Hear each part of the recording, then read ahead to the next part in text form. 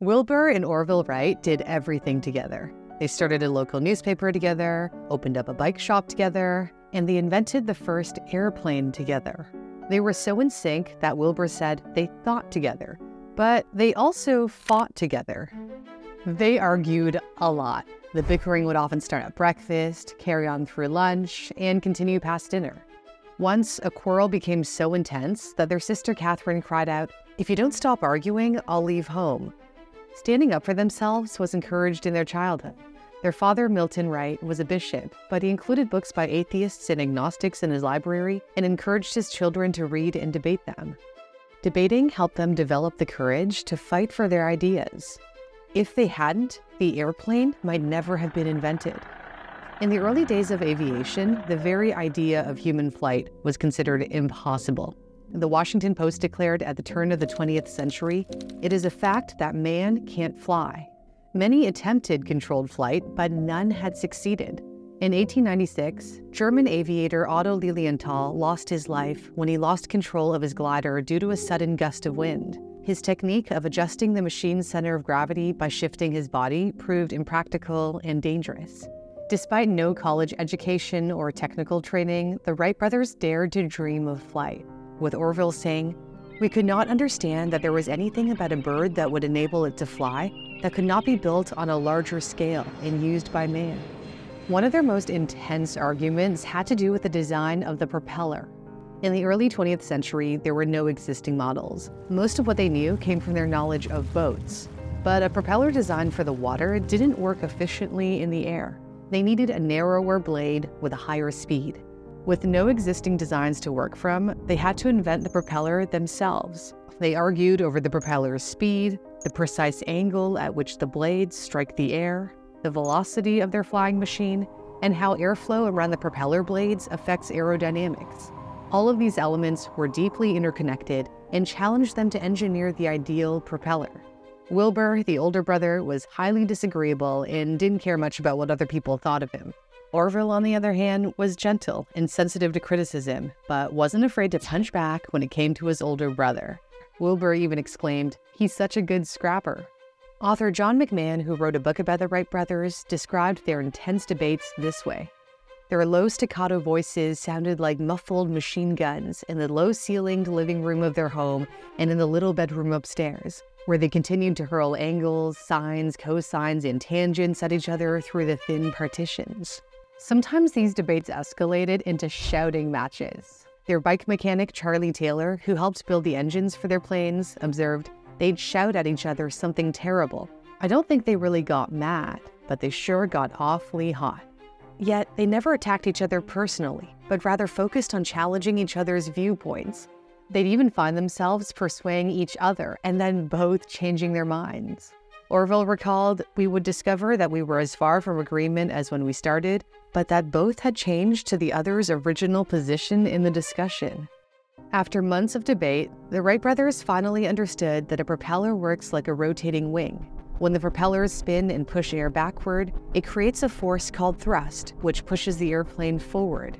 This is based on Newton's third law of motion, which says that for every action, there's an equal and opposite reaction. They eventually figured out that the plane needed not one propeller, but two, spinning in opposite directions.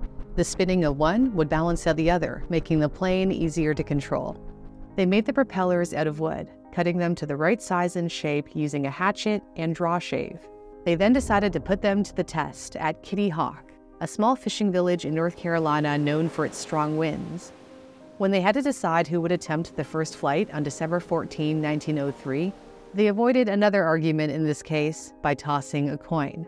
Wilbur won, but he lost the chance to be the first to fly successfully when he oversteered, causing the aircraft to climb too steeply, stall, and dive into the sand. After repairing their flyer, they made a second attempt three days later. With Orville in the pilot's seat, the flyer stayed in the air for 12 seconds, traveling 120 feet or 37 meters. When Orville was later asked if he was scared, he responded, Scared? There wasn't time. They flew four times that day. The fourth and final attempt, this time with Wilbur at the controls, was the best flight, lasting 59 seconds and covering 852 feet or 260 meters. They had taught the world that humans could fly. But they didn't really celebrate. For them, it was business as usual. Their mechanic, Charlie Taylor, captured their understated reaction perfectly. I know I thought it was pretty nice that they had done what they set out to do, and I was glad to hear that the motor ran all right. But I don't remember doing any jig steps. The boys were always so matter of fact about things. Even when they got home, there was no special celebration in the shop. Of course, they were pleased with the flights, but their first word with me, as I remember, was about the motor being damaged. They were always thinking of the next thing to do. Just as their arguments were never about personally attacking each other, but about making their planes better, they didn't go for a big celebration, but instead focused on improving their aircraft. Now they had to prove they could fully control their plane by turning and flying longer distances, as their flights up to then were short and in a straight line. Luckily, the owner of a cow pasture a few miles outside of their hometown of Dayton, Ohio, kindly let them fly there, so they didn't have to make the long trek to Kitty Hawk. In 1904 and 1905, the Wright brothers made about 150 flights. One lasted 39 minutes, covering 24 and a half miles or 39 kilometers, during which Wilbur circled the field 29 times. When it was time to show the world their invention, the French aviator Léon Delagrange summed up the superiority of the Wright flying machine this way Nous sommes battus, meaning we are beaten. Their rigorous debates propelled the Wright brothers to conquer the skies. As Wilbur once said, discussion brings out new ways of looking at things. If the Wright brothers hadn't argued so much, they would have never pushed each other to try new things, and somebody else may have ended up in the history books. Their dedication and knowledge of math and physics led to the world's first functional airplane. If you've been inspired to build a strong foundation in STEM, Brilliant is a great resource to learn math, science, computer science, and data science interactively. Whether you're starting with the basics in math or tackling more advanced problems, Brilliant guides you every step of the way. Many of their interactive courses are designed to tackle real world challenges. Take Brilliant's New Thinking in Code course, which gets you designing simple programs to solve real world problems like creating a navigation app. You can try out Brilliant for free for 30 days by signing up with a custom link in my description, brilliant.org slash newsthink. And if you're one of the first 200 people to sign up with my link, you'll receive 20% off Brilliant's premium subscription, which gives you access to all of their thousands of offerings. Thanks for watching. For Newsthink, I'm Cindy Pom.